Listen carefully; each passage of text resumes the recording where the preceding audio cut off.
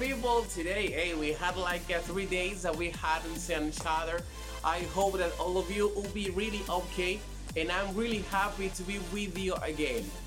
In this opportunity, my people, I'm going to teach you another English expression.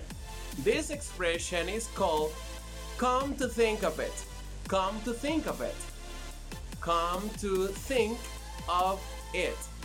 But if you link the F of the word of and the I of the word it, it sounds of it. Of it, okay? Come to think of it. And when do I use this expression? I use this expression when I want to introduce an idea that I hadn't thought before. For example, let's say that I am planning to go to the beach with my friends on Sunday and they're talking about what they're going to do, they're going to buy. And all of a sudden, I say, Oh, come to think of it, I have to go to work on Sunday.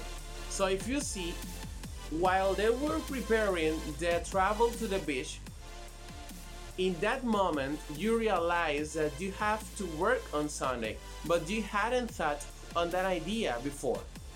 Okay, so in that moment you use come to think of it, okay, to introduce an idea that you hadn't thought before. Ok, entonces mi gente, miren, esta expresión, come to think of it, literalmente significa o la utilizamos para decir, oye, pero yo no había pensado en eso. Entonces, mira, vamos a imaginarnos que, como apliqué en inglés, ¿verdad? Hay unos compañeros que están hablando de un viaje para la playa y todos estamos planeando ir para la playa, ¿verdad? El, el domingo.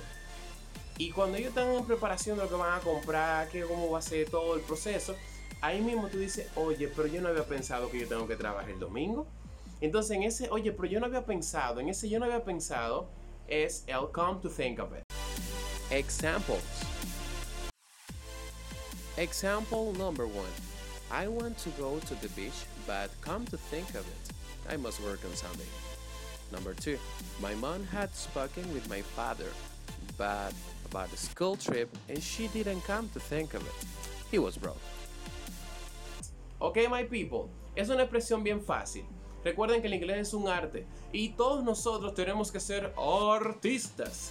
Practíquenla, implementenla en su vocabulario, háganla de ustedes y producen inglés todos los días. Ok, my people, no olviden suscribirse a mi canal y en los comentarios dejar ejemplos utilizando esta expresión. Ok, my people, take care and bye bye.